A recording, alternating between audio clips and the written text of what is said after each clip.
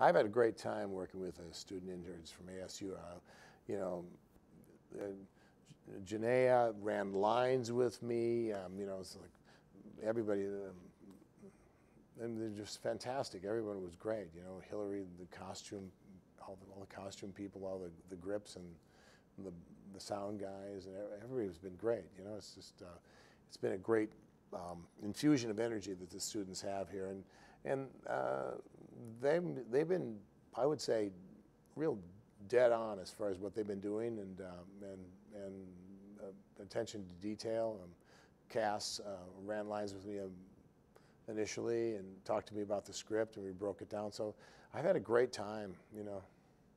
Yeah, really good. It's great. Uh, I'd, you know, I'd like to add though, I'd like to add that it would be great to do um, more movies where uh, students uh, are involved in this in this this way. I think it was really a an insightful thing that that Adam uh, had to to involve the students in making this movie, and it's. I don't think it's really cost us anything as far as uh, quality of the movie, and, and and you know, but they do the student interns. They eat a lot of snacks. You know, a lot and a lot of lunch, a lot of a lot of sodas. It's just, you know, so that's the only downside. You know, like a lot of the Fritos, like the chili Fritos, went immediately, which you know I had a problem with. But aside from that, you know, I don't have a problem with any of them.